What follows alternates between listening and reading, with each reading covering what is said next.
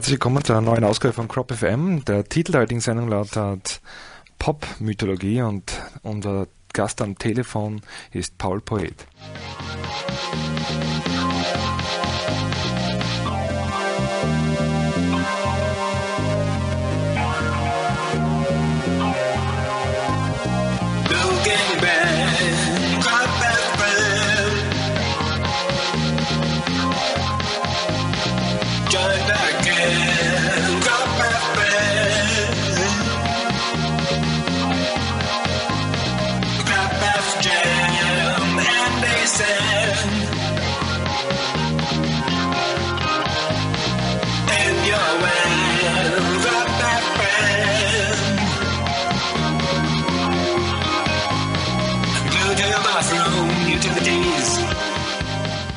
den Cropcom, äh, der Live-Chat, mit dem man sich live an dieser Sendung beteiligen kann, erreichbar über die Website von CropFM, cropfm.nur.at und dann ganz oben auf Cropcom klicken. Wir sehen diesen Chat hier im Studio ein und freuen uns über Fragen und Anregungen.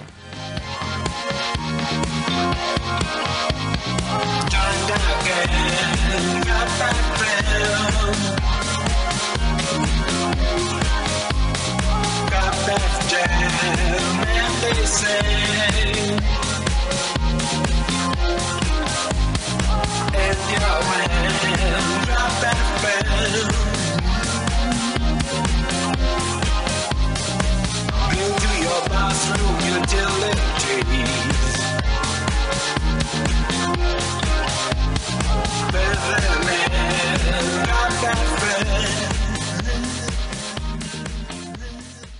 Ja, und wenn jetzt alles geklappt hat, dann ist jetzt am Telefon Paul Poet. Hallo Paul. Ja, hi, hi. Ja, wunderbar. Warte, ich probiere noch mal auf. Hörst du mich noch immer gut? Äh, nein, jetzt höre ich nicht mehr gut. Aha, das ist schlecht. Ja, absolut nicht? Na, nicht sehr gut. Also vorher war es viel besser. Besser? Hallo? Ja? Ja, okay. Hallo. Lass uns lieber so. yes, yes, yes. Okay, hallo Paul. Salute. Ja, die, von Crop. Schön, dass du die Zeit gefunden hast. In den nächsten Wochen wird ja, glaube ich, äh, dein Film, diese Dokumentation äh, Ausländer raus, Schlingen sie aufs Container, den du gedreht hast, äh, endlich auf DVD erscheinen. Und der Film hat ja in letzter Zeit einiges an Preisen gewonnen, wenn ich mich nicht irre. Ja, einiges an Preisen. Er hat einen, einen ziemlich fetten Preis gewonnen, also gerade für österreichische Verhältnisse, und zwar den großen Jurypreis des Worldfest Houston. Das war eigentlich schon letztes Jahr, aber wurde hier zu Land irgendwie großzügig von den Medien verschwiegen.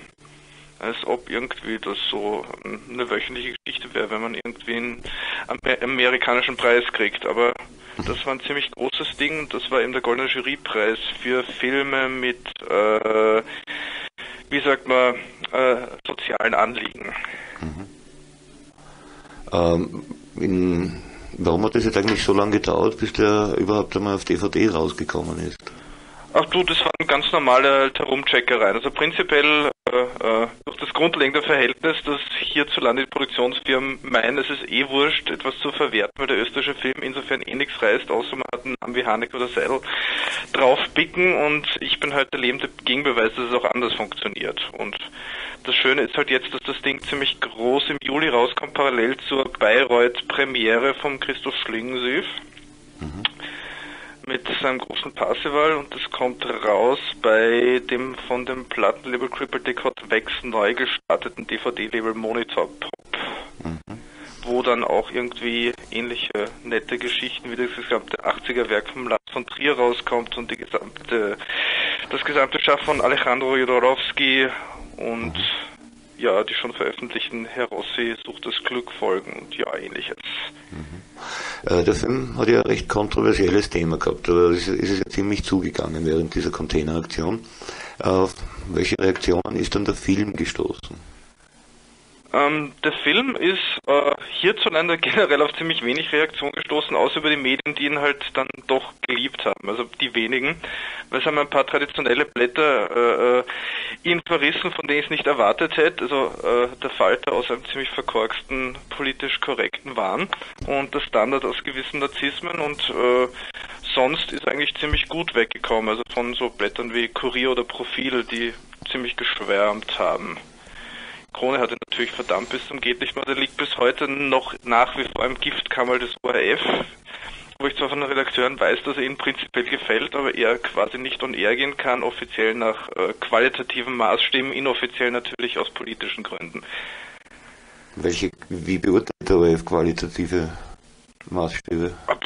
Das wird ja nie genau geäußert, aber einfach Sendegeschichten. Äh, äh, ich meine, das ist beim Film der Großteil ist natürlich äh, auf Material aus Überwachungskameras und generell auf einer gewissen TV-Ästhetik äh, äh, basiert, natürlich schwer. Gleichzeitig kann man natürlich damit äh, argumentieren, dass ORF ja auch ganz gut von Taxi Orange gelebt hat. Aber so, mhm. wenn man irgendwie das Film dort antanzt und nicht ORF-Eigenproduktion, ist das natürlich ein gutes Argument, um Wind aus den Segeln zu nehmen, dass natürlich ja die Bildauflösung nicht ausreichend ist und ähnlicher Schmonz ist. Mhm.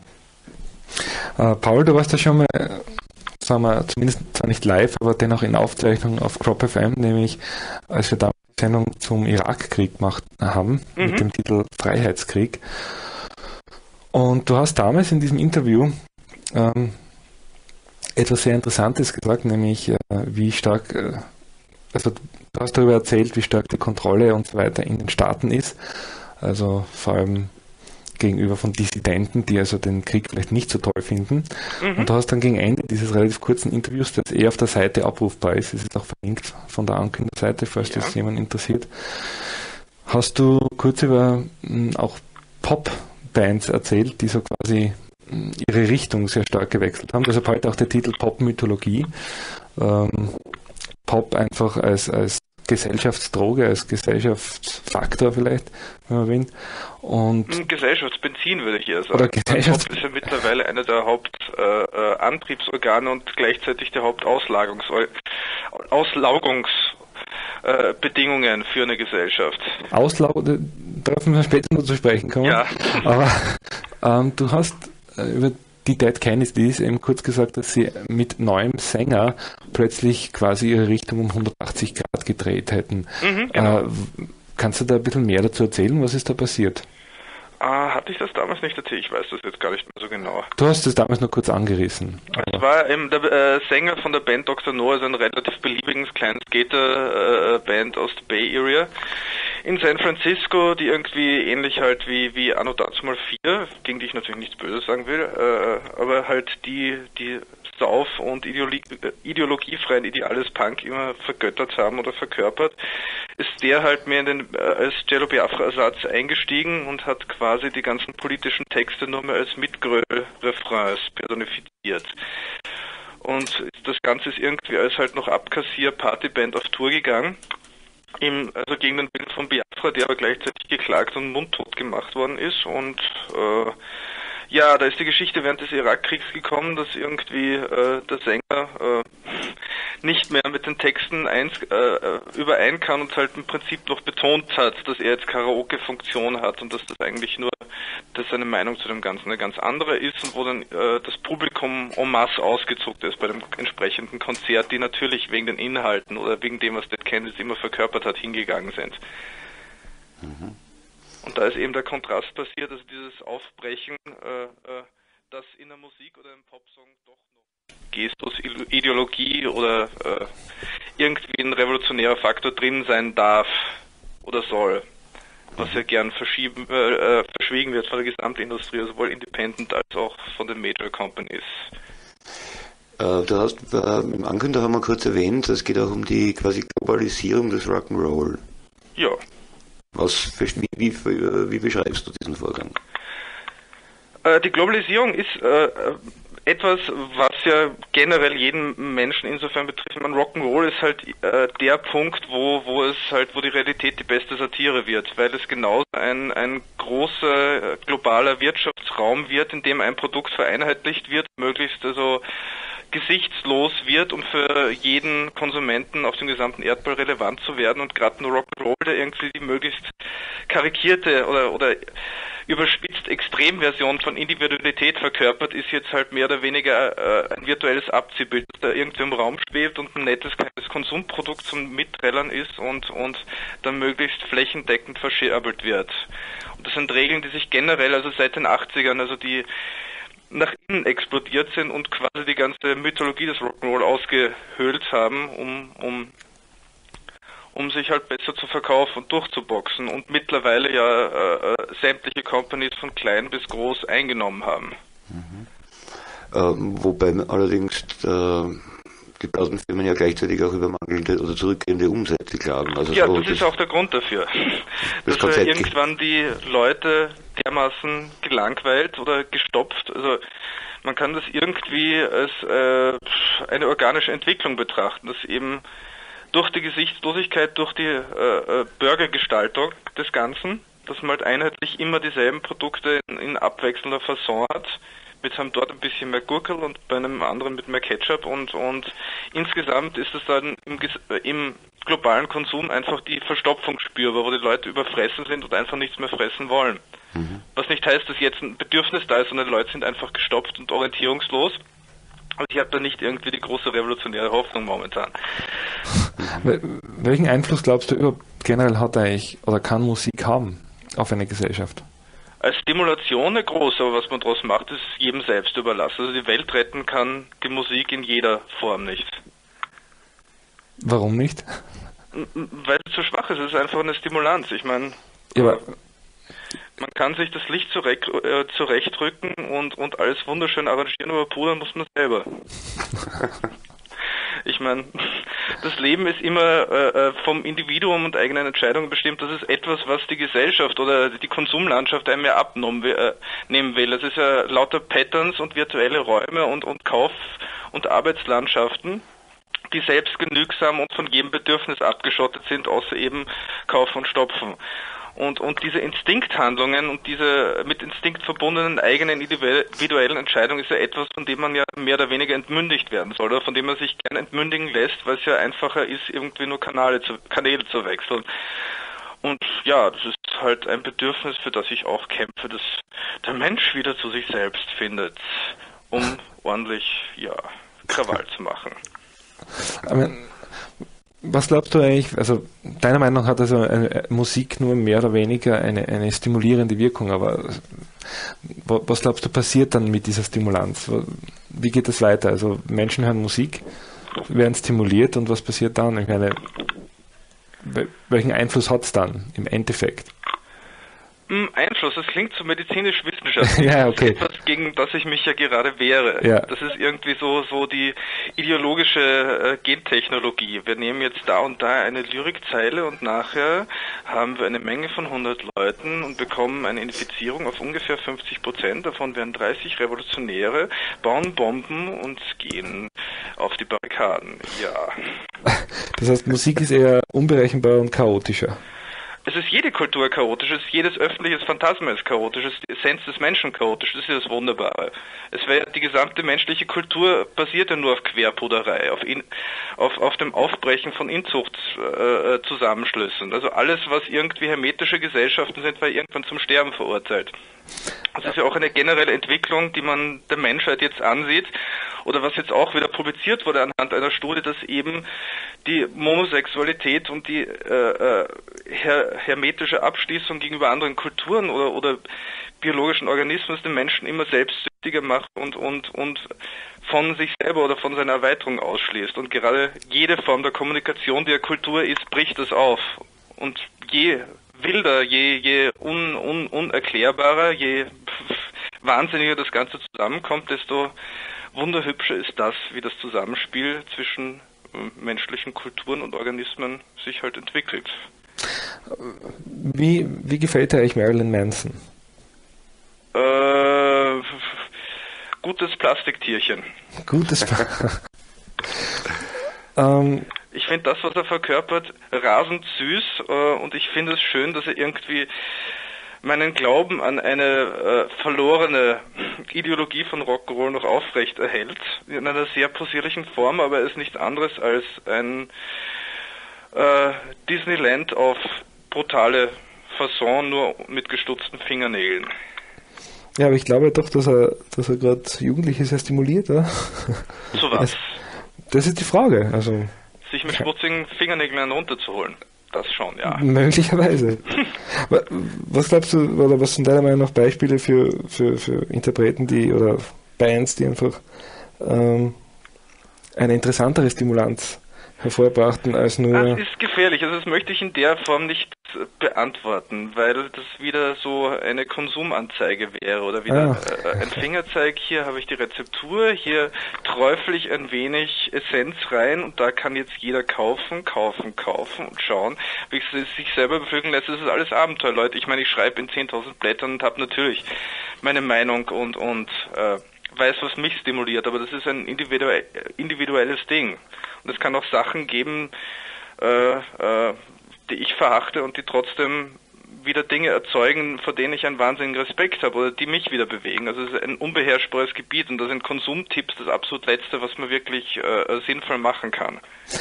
Dann probieren wir es umgekehrt, vielleicht als Negativ-Werbung äh, oder keine Ahnung. Ähm, wie glaubst du, wird eigentlich jetzt mit, also Popmusik ist offenbar was ziemlich Starkes oder was ziemlich, etwas, das einfach, wie du sagst, sehr viele stimuliert, was auch immer dann passiert hm, Popkultur generell, also Musik ist ja nur ein verschwindend geringer Be äh, äh, Bestandteil und das vermischt sich ja immer mehr, da, dadurch, dass man immer mehr Konsumwege hat, um das Ganze äh, äh, sich äh, äh, um den Kopf zu bauen. Und das ist egal, ob Filme, Bücher, sonst was, also Internet alle Möglichkeiten, also sich, sich äh, mit Kultur oder Sprachen auseinanderzusetzen. Das Problem ist ja, dass die Sprache nicht mehr wahrgenommen wird, weil man die Seele hinter den Dingen, hinter den Wörtern, hinter den Bildern nicht wahrnehmen kann. Das ist das Interesse von mir auch, warum ich mich jetzt seit 15 äh, Jahren halt mit äh, äh, zeitgemäßen Mythologien beschäftige. Wie bedient sich zum Beispiel die Werbung der Popkultur? Ich meine, offenbar sehr stark, aber ähm, wie siehst du das? Popkultur, Werbung? Stil in der Werbung? Ähm, naja, ich meine, Werbung ist genauso mittlerweile ein, ein ebenbürtiger Bestandteil der Popkultur und hat äh, in ihrer Sprachform die Popkultur im gewissen Maße auch diktiert. Also seit dem Verlauf eigentlich der Nachkriegszeit eigentlich. Glaubst du, dass euch die Werbung in der Intensität, in der sie derzeit stattfindet, also mir kommen, also ich, ich schaue eigentlich nicht fern, aber wenn ich fernschaue, dann kommen mir die meisten Werbeclips eigentlich wie Mini-Videoclips von, von ja, irgendwelchen Popnummern aus den 80ern vor. äh, siehst du es also, dass der Einfluss ziemlich stark ist und dass eigentlich die Werbung nur deshalb so, dass die eigentlich auch dadurch stimuliert wurde und dass sie in dem Ausmaß nur dadurch möglich ist, da wir ja in einer Popkultur leben. Ähm, da haben wir jetzt zwei wichtige Themen eigentlich in dem, was du sagst, Ren. Jetzt weiß ich nicht, in was ich mich zuerst verzweigen soll. Weil einerseits das 80s Revival, das ist ein extrem spannendes Thema zurzeit ist die ganze Elektro, also die ästhetische Elektro-Clash, weil jetzt weniger der einzelne, die einzelne Stilrichtung, die eh schon wieder am Sterben ist, aber eben dieses, diese ständige Präsenz der Bilder von damals und diese Retourladung. Andererseits also die Dauerpräsenz von Werbung und der Sprache, die darin besteht und die gesamte Popkultur eben vereinnahmt hat. Also wohin sollen wir gehen? Das überlasse ich ganz dir. Das überlasse ich ganz dir. Wo es dich hinzieht.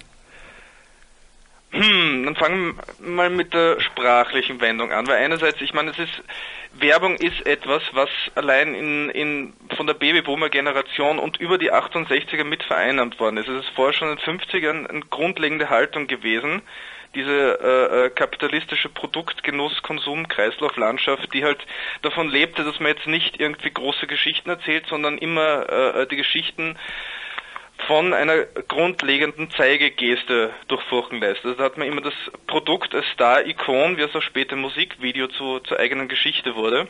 Also sehr offensichtlich. Und die kann man nachverfolgen, wie sie seit eigentlich der Nachkriegszeit immer mehr sich in die Popul Populärkultur reingefräst hat. Durch das Aufbauen von Starsystemen, von Produktsystemen, von, von horizontaler äh, Firmenerweiterung und auch Produkterweiterung Kultur als Ausdrucksform wie, wie die einzelnen Sparten sich immer mehr bastardisiert haben und einheitlicher gewachsen sind. Also es im Endeffekt nur mit Geschichten simuliert wurden und in ihrer Aussage egal wurden, dass alles nur mehr eben, also wie um den Bauchnabel des Einzelkonsumenten um das Produkt herum äh, äh staffiert wurde. Und das bestimmt eigentlich immer, immer nachdem das enger und enger gewachsen ist, also jetzt den gesamten kulturellen Output. Weil wir haben das Problem, also gerade beim Spielfilm, dass immer weniger, immer größer produziert wird und immer äh, äh, weniger zum Erzählen hat, weil es nur mehr zum äh, Basteln von diesen Konsumprodukten geht und, und das Drehen um dieses Konsumprodukt die alleinige Handlung ist, die nur selbstreferenziell sein kann. Es ist auch bei den Filmen so, dass ich, wenn jetzt, ich, ich habe nicht gesehen, aber der Hulk zum Beispiel, ja. kann ich mir vorstellen, da geht es eigentlich nicht so wirklich um die Story, sondern eigentlich nur mehr um die Umsetzung. Es geht einfach darum, möglichst explosive Bilder zu zeigen und da zwei Stunden lang so eine Art, äh, keine Ahnung, einen Kick zu vermitteln.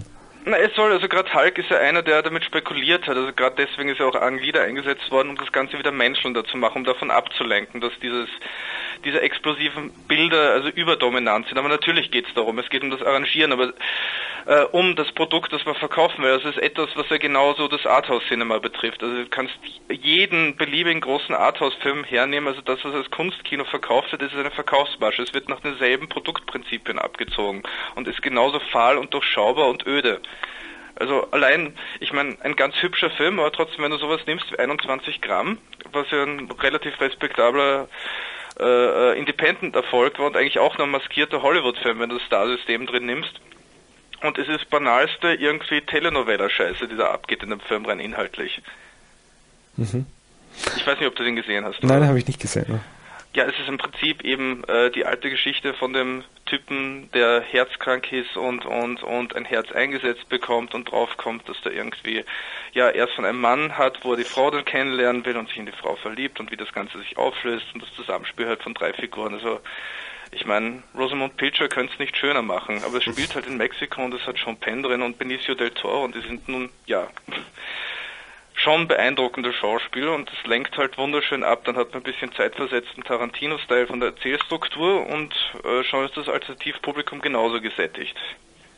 Das heißt, das ist ein reines Produkt und es ist eigentlich, äh, glaubst du auch, diese, dass diese Dinge total durchberechnet werden? Das einfach, äh, meine, ist auch jetzt eine rhetorische Frage. Nein, also, durchberechnet, also da habe ich einen gewissen, pff, waren vor Big Brother äh, Vision oder von den Managern, die halt die allmächtige Stimme sprechen, weil das da immer so mitspielt, sondern es ist ein selbsterfüllendes und selbstgenügsames System. Es ist in unseren Köpfen schon drin. Wir können es gar nicht mehr anders wahrnehmen. Wir sind daran gefangen, nur diese äh, Produkt-Konsum-Zusammenhänge zu sehen. Also wenn, dann müsste es schon einen viel mächtigeren Crash geben, damit man sich von dem distanzieren kann, um wieder halt, äh, äh, sag ich mal, zur anderen Form der Mythologie und des, des kommunikativen Ausdrucks zu finden. Wenn man mit Leuten spricht, die zum Beispiel in der Musikproduktion sind, ähm, dann mit manchen zumindest, dann hört man immer wieder so Ausdrücke wie die Nummer funktioniert nicht oder äh, da muss man dann keine Ahnung, dann kommt die Bridge oder einmal oder dann kommt nochmal die Überleitung und dann funktioniert Und es wird da oft so meiner Meinung nach, äh, das, der, der, Gedanke kommt mir immer wieder, mit solchen Leuten spreche, äh, so der Gedanke suggeriert oder dem wird irgendwie nachgehangen, es gäbe so eine Art äh, Kochrezepte für Superhits. Ähm, und wenn man sich die meiste, das meiste, was so im, Radio läuft, anhört, dann ist es, scheint es ja wirklich so zu sein, weil die laufen alle irgendwie so nach dem gleichen Schema ab, also in, in, auf jeder Ebene. Ähm, wie, wie, siehst du das? Hat sich das wirklich herauskristallisiert mit der Zeit und, und wird da jetzt äh, immer mehr und mehr Fließbandmusik äh, produziert werden? Mm, nein, also das hat sich schon also ein bisschen umgestellt. Also ich meine, es ist halt schon so, dass die Populärkultur, vor allem die Industrie, die dahinter steht, so steht, dass jeder nachher sagt, er hat schon immer gewusst. Aber gerade so Sachen wie äh, sage ich mal, auch wenn ich sie persönlich nicht so schätze, aber wie wir sind Helden, haben sich doch irgendwie äh, gegen die Regeln des Managements durchgesetzt. Mhm. Und, und sind halt über, über eigene Kanäle und eine gewisse Independent-Szene äh, dann plötzlich groß geworden und haben es in kürzester Zeit geschafft. Oder auch Yeah Yeah Yes, wenn man eine andere, sagen wir mal, eher, ja, garagige Band dahernimmt. Äh, aber die sind beide Independent-Bands gewesen, in kürzester Zeit plötzlich hochgeschossen sind und plötzlich alle Blätter erfüllt haben und ziemlich gut bis gigantisch abgesetzt haben und die überhaupt nicht dem Regelwerk, das da erwartet wurde, entsprochen haben oder noch ein bisschen, sag ich mal, echte Soße im Getriebe haben. Okay, zurück wieder auf, uns, auf unsere ursprüngliches Thema, was wir äh, irgendwie begonnen haben, aber glaube noch nicht ganz abgeschlossen haben. Äh, Popkultur und Werbekultur. Die, ja. diese, diese Parallele. Also äh, wie, wie, siehst du da jetzt die, die, die, natürlich, also offensichtlich ist es so, dass also die Popkultur äh, eigentlich mitgeholfen hat, dass die Werbekultur in diesem Ausmaß entsteht und dass die Werbekultur wahrscheinlich wiederum so quasi als Feedback eigentlich auch geholfen hat, ganz bestimmte Dinge oder Elemente dieser Popkultur zu featuren und es in eine bestimmte Richtung zu bringen. Wie siehst du da dieses Zusammenspiel? Mm, ich würde es gar nicht zusammenspielen. Es ist ein konstantes Ineinander. Also ich meine gerade, also äh, Rock'n'Roll und US-Kultur und die gesamte Konsumwelle ist ja immer streng miteinander verbunden. Ich meine, wo wären Jeans und, und Lederjacken ohne, ohne Elvis oder, und, und die Subkultur, die dann Leute wie auch Avantgardist wie Kenneth Enger formuliert haben. Ich meine, das ist eine, ein gesamtes Zusammenspiel von Populärkultur, das sich verdammt gut verkauft hat. Und auch wenn die Leute die musikalische Kultur, die äh, die Speerspitze als Ausdruck damals mitverkörpert haben, die Ideologie, die sie erst schmackhaft gemacht haben, die sind allgemein Posten gewesen, die halt keiner mehr kennt, wenn er jetzt in C&A Jeans kaufen geht, außer halt im, Unterbe im kollektiven Unterbewusstsein. Das ist auch das Ineinander, was es spannend macht, wo Mythologie sich in Materie äußert, oder eben im Materialismus, auch äh, zu dem man zugreifen kann, der irgendwann halt komplett losgelöst von seiner eigentlichen Essenz da und kaufbar ist im Sonderangebot. Aber trotzdem ist diese Seele noch da. Das Problem, das wir jetzt haben, ist, dass das System nicht mehr offen ist. Das System ist nur mehr ein Warenkreislauf, der sich nicht mehr für Geschichten interessiert. Und dementsprechend auch keine öffentlichen Bedürfnisse bei den Menschen erfüllt werden können und jetzt ein gewisses Bedürfnis nach einer Endzeit oder nach anderen Systemen entsteht. Weil äh, die gesamten Konsumprodukte den Menschen nicht mehr befriedigen können, weil es halt jetzt 50 äh, Jahre funktioniert hat und irgendwo äh, äh, die Kultur mit den 80ern, weswegen die 80ern für uns jetzt symbolisch auch so eine große Bedeutung haben, also zu einer Selbstgenügsamkeit gefunden haben, zu virtuellen Systemen, die in sich geschlossen, gesättigt rotieren, die aber nirgendwo mehr hingehen. Also die eh nichts anderes mehr können als kollabieren und sterben. Also siehst du vielleicht den jüngsten Tag irgendwie nicht durch einen Meteoriteneinschlag oder durch Feuerwulste äh, äh, heraufbeschwört, sondern durch wir sterben einfach in Langeweile? Äh, nicht Langeweile, wir ersticken an dem, was wir wunderschön finden. Das heißt, du. Beziehungsweise wir schlagen uns gegenseitig äh, äh, statt mit Äxten und sonst was halt die Köpfe mit CDs und Xboxen und sonst wer ein, ich meine. Ja, und glaubst du, also du hast da ein recht interessantes Wort gesagt, Endzeit. Das heißt, ich meine, das ist ja tatsächlich so, und das geht ja auch in dieser Sendung immer wieder um solche Endzeitmythologien. Ähm, wo auch ganz bestimmte Ängste eigentlich äh, zum Vorschein kommen, die offenbar in der Gesellschaft bestehen und, und irgendwie verarbeitet werden müssen. Und äh, ich, ich höre aus dem, was du sagst, ein bisschen raus, dass das ganze Werkel so quasi irgendwie sich selbst auffrisst. Ja, das ist ja auch so. Das ist ja auch es ist halt so, dass das, äh, ich meine, es hat immer schon Visionäre gegeben auf dem Gebiet, also gerade weil sie euch ja, wie ich weiß, ziemlich schmecken, die Sachen von Philipp K. Dick, wo das aber jetzt irgendwie in der Populärkultur eben genauso wieder selbstgenügsame Scheiße ist, die sich materialisiert. Also die ganzen Hollywood-Filme, die rundherum gebastelt werden, die Seligsprechung in Museen und Theatern, die der gute Philipp jetzt erfährt, das ist alles nur mehr tote Kacke.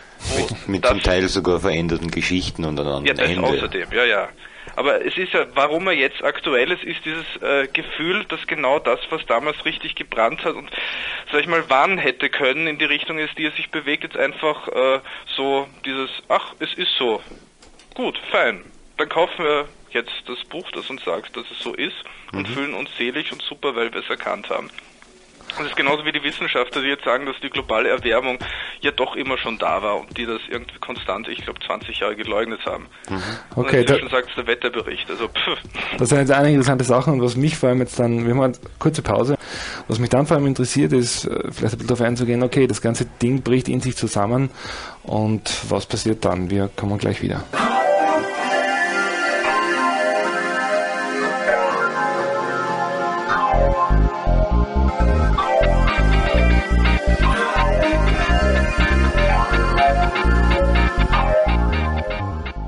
Ja, Sie hören Crop FM und mein Studiogast, unser Studiogast ist Paul Poet und wir sprechen über Popmythologien. Ähm, Paul? Ja. Wunderbar, du bist noch da. Ähm, Im Chat ist es heute sehr ruhig, nur Big ist drinnen und macht irgendwie Blödsinn. Na, Eraser heißt der Mann. Aber egal. Ähm, ja, du hast gerade eine sehr interessante Aussage über den 11. September gemacht, als wir da kurz auf Air gequatscht haben. Ja, ja, weil du eben gesagt hast, wo die Sehnsucht nach einer Endzeit da ist, ja. oder die ich ja nur bestätigen kann. Das ist einfach, ich meine, da siehst du die ganzen Funktionen der Industrie, siehst du ja lustigerweise gerade am 11. September, weil der 11. September war ja genau genommen also der größte Akt der Popkultur der letzten fünf Jahre. Also es war auch das, was Stockhausen, glaube ich, gemeint hat und wofür ja so massiv abgewatscht wurde nachher. Und jetzt sieht man nachher, wie die Medien und, und äh, die Simulationen und das ganze abseits des ganzen politischen Geschehens, so das, wie es eben medial ausgewertet wird, wie immer wieder Panikreaktionen, verhinderte Attentate und so weiter beschworen oder wirklich manifest gemacht werden. Das sind dann die kleinen Coverversionen Bands, die zum großen Mega Blast irgendwie ihre kleine Nummer dann abspielen und wie das einfach geschürt wird, bis man ein anderes Thema braucht, um wieder neu anzuheizen. Ja, wenn jetzt natürlich, also äh, 11. September sind natürlich ein Haufen Leute draufgegangen und äh, äh, vielleicht sollte man das noch ein bisschen, äh, was genau meinst du mit der größte Akt der Popkultur? Also inwiefern ist es, ist es, ist es, ähm, inwiefern spielt es für dich in dieses Thema rein? Warum sagst du das? Äh, es wurde auch von den Attentätern als, als äh, Auseinandersetzung mit einem Symbol verwendet. Es wurde ja als, als Mediending ja quasi auch mitinszeniert von den Attentätern, weil sonst hätten sie sich ein anderes Ziel gesucht als das. Und als das war es perfekt. Also war es etwas, was, glaube ich, jeder sehnsüchtig begehrt, irgendwie jeden Abend daheim zu sehen und ständig konfrontiert zu werden, ohne halt persönlichen Schaden zu nehmen. Das machte die Geilheit von Popkultur aus, sich äh, äh mit diesem Übermächtigen auseinanderzusetzen und trotzdem nicht unmittelbar betroffen zu sein, sondern das anderweitig mit sich nach Hause zu tragen und immer wieder konsumieren zu können. Das sieht man auch mit der Maschinerie oder Bildmaschinerie, die äh, von dem sich nährt oder weiterläuft. Die mächtig ist, allmächtig und mit der auch spekuliert wird und die auch politisch manipuliert wird. Ja, das heißt also, es geht einfach darum, um das Ziel, das sie ausgewählt weil interessanterweise zum Beispiel gab es ja, es gibt ja zahlreiche Filme, unter anderem äh, Independence Day, ne, in dem das Weiße Haus in Flammen aufgeht, also was heißt in Flammen aufgeht, von einem riesen Laserstrahl völlig zerfetzt wird. Mhm. Und solche Bilder sind einfach, also darüber ist ja auch sehr viel diskutiert worden irgendwie im Nachhinein. Beim, nächsten, äh, beim kommenden Film von, äh, der interessanterweise auf Art Bells und Whitley Strieber's Buch The Coming Global Superstorm mhm. äh, basiert, heißt glaube ich The Day After Tomorrow. Ja. Da wird zum Beispiel interessanterweise äh, wurde von der amerikanischen Regierung, äh, da erfriert glaube ich der, der Vizepräsident am Ende so, mhm. und das äh, wollen sie irgendwie nicht so richtig, ja. was ich recht interessant finde. Aber also insofern ist es ja natürlich kann, die westliche Potenz geht meilen. Oh ja, äh, und, und ich stimme mit dir völlig überein. Diese, diese Ziele, die da für den 1. September ausgesucht wurden, sind äh, ja populistisch eigentlich. Also total, äh, wie soll man sagen, es, es, ist wie, ich meine, wenn man das, ich habe letztens gerade wieder zufällig eben so eine Aufnahme von diesem Ereignis gesehen und es, es, ist wie, es ist wie ein schlechter Actionfilm einfach. Ne? Also, ja, die Ziele sind eh genauso beim Roland Emmerich nach demselben Gesichtspunkt, nach dem populistischen ausgewählt worden. Ja, klar. Also Independence Day. Ja, ja. Der Emmerich hat ja nichts anderes gemacht, als systematisch jedes einzelne Monument zu demontieren. Äh, genau, ja. Und es ist halt die Frage, ob der neue Film funktioniert, weil es ein, ein, Überfüttern an derselben Stelle ist, wo kein Hunger mehr existiert. Ja, aber, aber was interessant ist, ist, ähm, ist, dass obwohl du das jetzt sagst, obwohl ja eigentlich das Interesse gar nicht mehr da ist, interessant ist, dass dennoch versucht wird, äh, oder dass jetzt schon sehr starke Kritik laut wird an diesem Film, dass offenbar Einflussversuch genommen wird auf die Macher von diesem Film. Äh, weil man, warum glaubst du, ist das?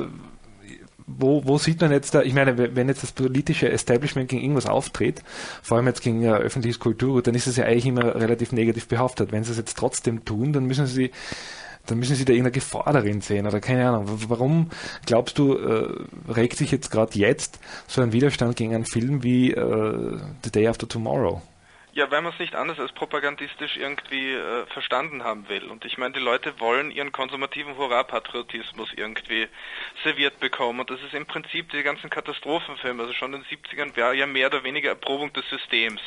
Also wir haben das perfekt wunderschön, also das vielleicht nicht ganz perfekt funktionierende System, also wo dann ein bisschen das Menschen da reingebracht wird, aber wir schlagen uns schon durch, wir schaffen es der Natur und dem Übermächtigen zu trotzen und wir und wenn es nur fünf sind, die wir uns von uns 50 überleben, wir werden das bessere Leben morgen haben.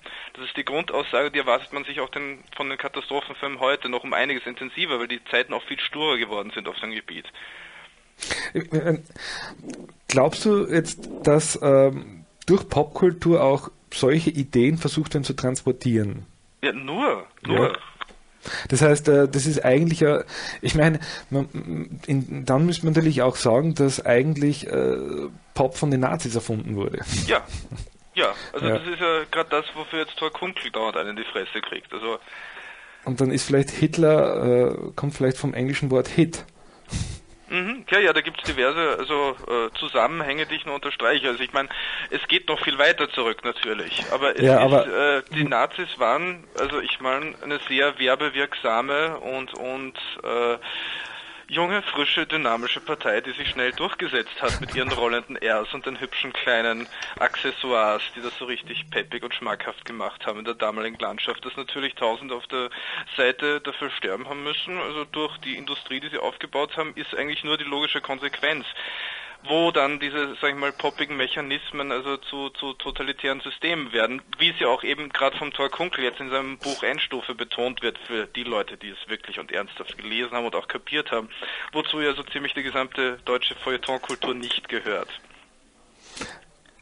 Ja, das heißt also, äh, aber meiner Meinung nach ist es schon, also in dieser, also die, diese ganzen, Leni Riefenstahl zum Beispiel ist ein, ist das ein Beispiel, ne? jemand, der also eindeutig schon für das Regime gearbeitet hat, egal was jetzt ihr persönliche Einstellung war, weil sie hat, sie hat eigentlich äh, Propagandafilme für dieses Regime gemacht und hat in ihrer Arbeit oder durch ihre Arbeit ja Dinge erfunden, äh, gewisse, ja, einfach so das Handwerk des, des Monumentalfilms eigentlich erfunden, kann man sagen, ne?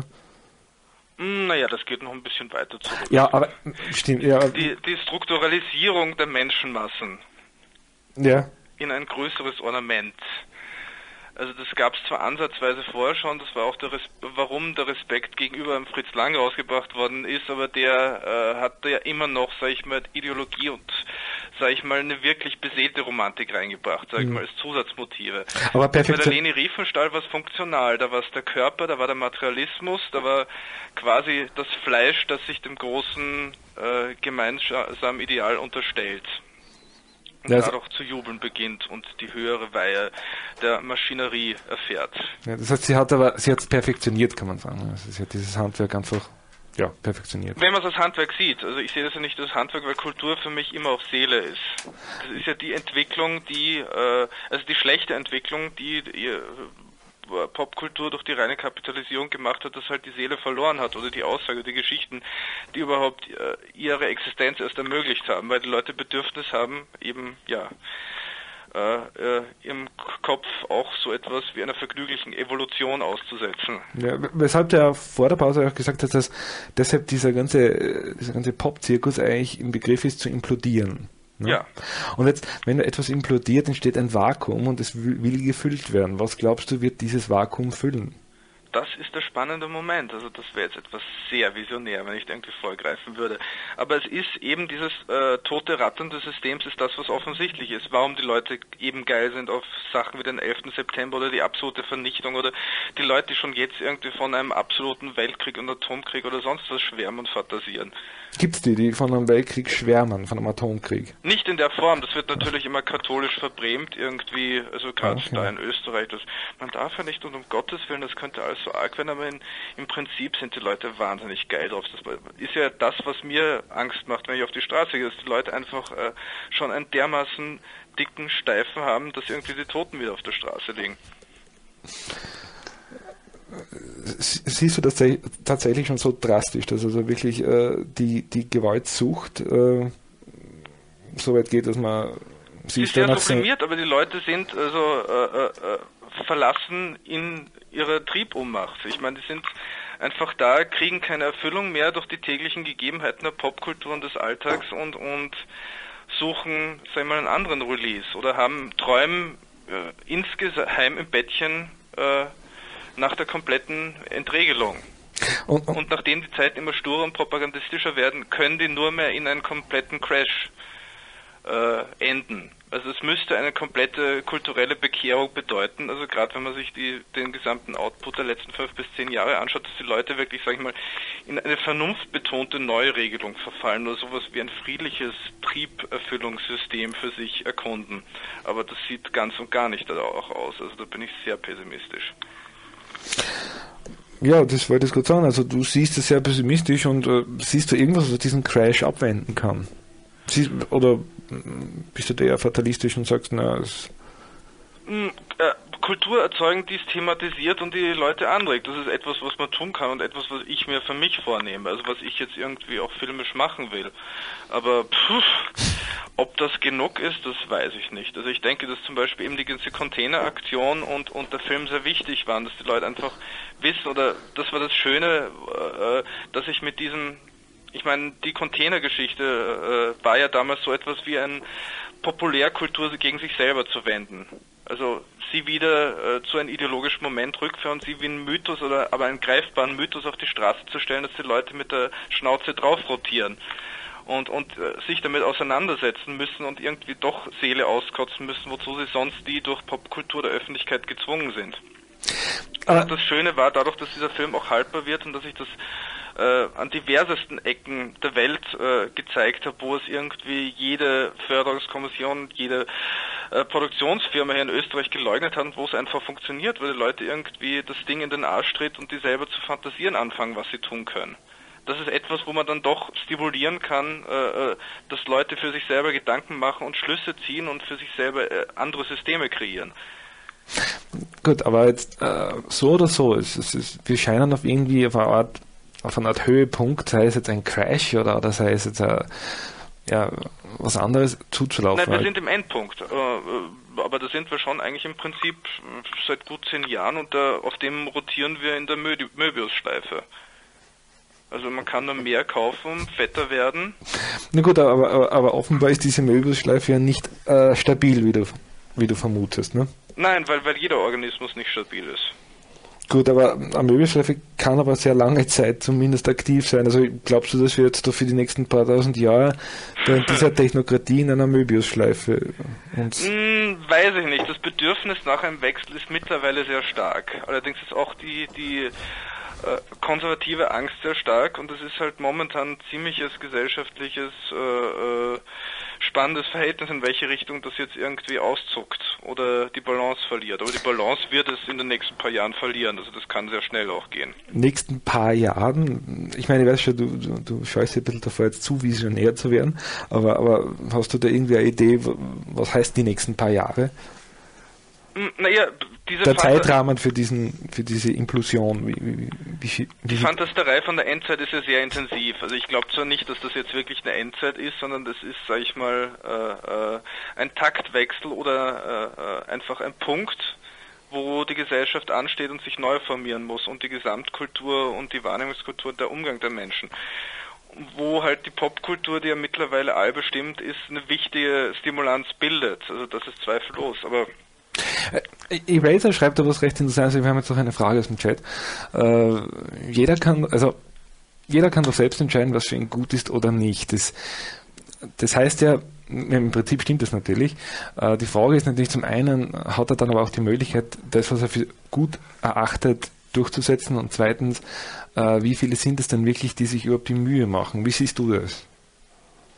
Das war jetzt wieder die Frage ist, äh, die Frage ist, jeder kann doch selber entscheiden, was für ihn gut ist oder nicht. Also da sage ich mal ach. genau, ja, das, äh, stimme ich dir bei, aber dennoch, die Frage ist recht interessant, denn äh, jeder kann kaufen, was er will, wenn er die Kohle hat. Ja, aber jeder kann auch nicht kaufen, was er will. Ich meine, im Endeffekt kommt es ja darauf an, dass eigentlich ja wir bewusster handeln. Ne, oder so. Also da kann man jetzt wieder acht drauf sagen, aber wie, wie glaubst du, kannst Nein, nein, also das ist, das also da allen Respekt. Also Bewusstsein ist etwas sehr Wichtiges, soweit es möglich ist. Bewusstsein ist natürlich auch so ein fließender Begriff, aber die Consciousness ist etwas, was mir auch der ganze Rock'n'Roll und Hip-Hop und sonst und die Popkultur mitgegeben hat, ist diese selbstgebaute Consciousness, die auf den wirsten Wegen zusammenkommt, aber für die man kämpfen muss. Und dieser Bewusstsein, dass äh, äh, jeder Tag ein Kampf ist und dass man für sich selber und für sein Individuum sich durchboxen muss. Das ist sehr wichtig. Ja, und ich meine, um diese Entscheidungen zu treffen, muss man überhaupt erst ein gewisses Bewusstsein bilden. Und meine persönliche Meinung dazu naja, ist, äh, bilden, ich meine, naja. das tut man ständig oder das sollte man ständig. Das ist ja auch nie abgeschlossen. Also man muss zumindest die Kultur für sich selbst entwickeln, diesen Prozess ständig am Leben zu erhalten, mhm. der Bewusstseinsbildung. Ja. Und meiner Meinung nach ist es ja eigentlich äh, in, in, in einer Gesellschaft, die so wie die unsere von Medien dominiert wird und in der aber die Medien ja ganz bestimmte Richtung drängen, nämlich äh, ja, Gleichschaltung, nicht wirklich möglich. Ne? Also das ist ja irgendwie so ein Catch-22 dann. Mhm. Ne, das wirkliche Problem ist, dass wir die Wahrnehmungsmechanismen der Medien kopieren. Für uns und in uns. Das ist das eigentliche Problem. Weil die Medien sind hohle Maschinerien. Also wenn es was zu erzählen gibt, transportieren die das auch. Aber pff, wenn es an uns liegt, dass wir nichts damit anfangen können, nichts mehr zum Transportieren haben, dann ist es natürlich tote Soße. Dann ist es ein brachliegender Fluss, wo irgendwann mal die gesamte Oberfläche kippt, die Fische nach oben steigen und das Ganze zu stinken anfängt. Äh aus dem Chat wieder. Äh, wir haben doch die Freiheit hier im Westen. Hm. In den Diktaturen der Welt können die Menschen nicht entscheiden. Wie, wie reagierst du auf diese Aussage? Äh, was sage ich mal, in den Diktaturen der Welt wissen die Leute dann Individuum, soweit es möglich ist, mehr zu schätzen als bei uns. Ja? Äh, warum? Weil sie für jedes Moment, in dem sie eine individuelle Entscheidung fällen können, hart kämpfen müssen. Bei uns ist es einfach scheißegal, weil es in seiner eigenen äh, konservativen Selbstgenügsamkeit festklebt. Aber nicht, dass ich deswegen der Diktatur bevorzugen würde, das sagt das Ganze nicht aus und wird gerne in die Richtung missverstanden. Aber äh, das Problem ist die Kommunikationslosigkeit, die bei uns halt äh, äh ich meine, ein selbstgefälliger Dauerzustand ist. Mir, mir jedenfalls den, den ersten Satz, äh, den ersten Teil dieses Satzes recht interessant, nämlich wir haben doch hier die Freiheit im Westen. Siehst du uns wirklich, siehst du uns als, als frei hier im Westen? Oder was definierst du als Freiheit? Und wenn, ich meine, haben wir diese Freiheit? Ähm, na, da könnte ich auch wieder zur Kunkel zitieren. Wie war das? Also knapp bevor der Hauptdarsteller in dem Buch irgendwie krepiert, ist es irgendwie die Freiheit des Westens, kurz nachdem er als äh, sich selbst verschweigender Nazi nach Amerika kommt. Hier in der neuen Welt hat man die Freiheiten, äh, für sich selbst zu entscheiden, woran man drauf geht. Okay. ja. Ähm, ich wollte vorher noch was ansprechen. Im Zusammenhang mit einer, mit einer Frage war das. Ähm, ich wollte, generell wollte ich mal anfangen, im, im Kinobereich ist ja zum Beispiel Merchandising und das Ganze ein ziemlich großes Thema. Wie weit ist Merchandising und damit was zu transportieren eigentlich im Musikbereich ein Thema? Hm, es gibt da keine Einschränkung. Also es ist alles irgendwo äh, äh, Aussage und Bereich davon. Das Problem ist, ich meine, du hast natürlich, was weiß ich, T-Shirts, also in Popkultur und Film, die natürlich Aussagen transportieren. Das Problem ist, dass die Wahrnehmung, äh, äh du hast automatisch die Segmentierung in Einzelgruppenbereiche, in Stereotypen, in sonst was, was weiß ich, du hast immer das J-T-Shirt und dieses äh, fickt euch alle T-Shirts und du bist automatisch irgendwie abgestempelt in eine Richtung, weil das nur in Subgruppierungen, Klischees und Maskeraden identifiziert wird. Das Problem ist, dass keine Ideologie mehr drinsteckt. Mhm. Sie ist nicht mehr möglich, weil die Wahrnehmung dafür nicht mehr da ist. Mhm. Ich glaube auch daran, dass die Geschichten noch da werden, aber man muss diese Wahrnehmung, diesen Wahrnehmungsmoment brechen in den Leuten, dass sie, und dann sind die Mittel alle möglich. Dann kannst du auch mit Flyern äh, Geschichten erzeugen und T-Shirts und Gürtelschnallen und, und Schuhabsätzen und weiß der Teufel was. Mhm. Das sind alles Teilspielbereiche. Das ist ja auch das Schöne an unserer Kultur, wenn man es nützen würde, dass es keine, keine Regeleinschränkungen gibt. Mhm. Unsere Bequemlichkeit ist ja eigentlich auch ein Thema da drinnen, weil wenn man sich schaut, was wir allein nur was Shopping-Dinge und dergleichen betrifft, aus Bequemlichkeit an, an Bürgerrechten und sowas aufge, äh, aufgeben. Ja, das ist dieser Moment der Selbstgefälligkeit. Ich bin in meinem System, also genau dieser Moment dick so wahrzunehmen, ich bin in der virtuellen Welt gefangen. Es, es hat sowieso nichts zu bedeuten, weil alles äh, äh, mir nur simuliert wird. Alles zentriert sich um mich und wird mir suggeriert und ich komme da eh nicht raus, also bleibe ich einfach sitzen und genieße es und scheiß drauf. Mhm. Irgendwas zum Fressen kriege ich immer und irgendwann bin ich halt weg, aber bis dahin sitze ich bequem da und das ist halt so. Ähm. Und das ist diese Ideologie der 80er, die sich eben, also die, die einen dauerbindenden Moment auch bildet, die jetzt eben gerade wieder eine Aktualität kriegt, weil die Leute diesen Endpunkt spüren, dass es keine Bewegung mehr drin gibt. Außer die ganze Welt nur um seinen eigenen Arschnabel irgendwie herumrotieren zu lassen. Wir sind jetzt ziemlich am Ende, wir haben jetzt noch so ungefähr drei, vier Minuten. Und mich würde jetzt einfach zum Abschluss doch noch interessieren, die, äh, im Chat schreibt auch jemand, äh, willst du diesen Crash herbeiführen? Bist du eine Art Revolutionär in Anführungszeichen? Äh, ähm, was glaubst du passiert nach dem Crash? Oder was, was glaubst du fühlt wirklich das Markum? Einfach jetzt so quasi dein Best Shot. Wie? Naja, was, was, was glaubst du, wohin sich, äh, nachdem, nachdem diese, dieses System kollabiert ist, was füllt das Vakuum auf? ähm, Geschichten erzählen und äh, an den Möglichkeiten, die einem das Dasein bietet, äh, äh, sich die Batterien aufzuladen und zu föllern.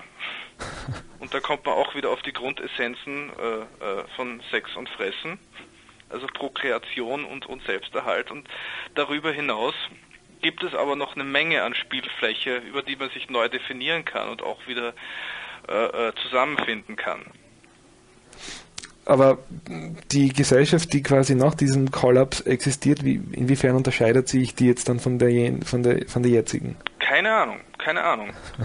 Dieser Kollaps kann auch komplett virtuell sein. Vielleicht kriegt die Menschheit das auf der Reihe. Also gerade auch in unserem westlichen System äh, äh, für sich selber die große Einkehr zu kriegen und einen Weg zu finden, wie sie sich die Möglichkeiten, die sie sich selbst gebaut haben, die Prinzip wunderschön wären, äh, wieder so zu nut nutzen, dass man äh, äh damit auch weitergehen kann. Nur momentan hat man ein einziges verstopftes, irgendwie äh, krankes System gebaut, das die Leute einfach nicht mehr willens sind zu tragen, weil sie nur mehr eben äh, äh, ihr, ihre eigenen äh, Fette und Geschwüre und, und, und Psychosen spüren. Also das Rotieren im toten Raum. Mhm. Und es kann dasselbe System also genauso äh, äh, anders wahrgenommen werden. Aber dieser Wahrnehmungsdefizit und dieser äh, äh, krankhafte Umgang damit ist einfach da und dadurch stirbt das System auch. Und das finde ich so nicht so schlecht, weil auch durch Krankheit muss man sich irgendwie weiterentwickeln und Krankheit ist immer auch eine Aussage. Krankheit als Weg, da gibt es glaube ich ein Buch. Ja. Olaf Dahlsen heißt er glaube ich so. Ja, Dahlke. Dahlke. Ja, Paul, recht herzlichen Dank, dass du dir heute die Zeit genommen hast und mhm ich fand es sehr spannend und ich hoffe, wir wiederholen es wieder einmal. Mhm. Ja, es gibt da noch massig was zu dem Thema zu sagen. Aber schauen wir mal, wie lange wir noch brauchen bis zum Weltkrieg. schauen wir, dass wir vorher noch ein paar Sendungen unterbringen vielleicht. Yes. Vielleicht hilft es was, oder wenn nicht, ist auch wurscht. Vielleicht macht es einfach Spaß nix. bis dahin. Bitte? Vielleicht macht es auch einfach nur Spaß bis dahin. Genau. Soll nichts Schlimmeres passieren. Okay, dann vielen Dank und bis zum nächsten Mal. Yes. Okay. Enjoy. Ciao. Ciao. Ciao. Ja, das war also Paul Poet. Jetzt habe ich noch vergessen, ihn zu fragen, ob er wirklich Paul Poet heißt. Äh, das äh, haben wir nicht. Nein, ich glaube, ja, ich weiß es nicht. Nein, ich glaube, er hat schon aufgelegt. Okay. Es ist, aber ist egal, das kann ja ruhig offen bleiben. Aber jedenfalls haben mich sehr viele gefragt, ob der wirklich Paul Poet heißt. Und, äh, ich habe ihn das ehrlich gesagt noch nie gefragt, aber ja. äh, ist egal. Ich, ich, nehme es einmal an. Wenn man so heißt, hat man auf jeden Fall ziemlich viel Glück gehabt mit dem Namen und in der Branche, in der er tätig ist. Sehr schöner Name. Gibt's, also auch wenn er ausgedacht ist, sehr gut ausgedacht. Richtig. ja, ähm, in der nächsten Sendung äh, behandeln wir wahrscheinlich, äh, wenn, es, wenn es sein soll, äh, das, das Thema Chemtrails. Und äh, die wird am 14. Mai zu hören sein.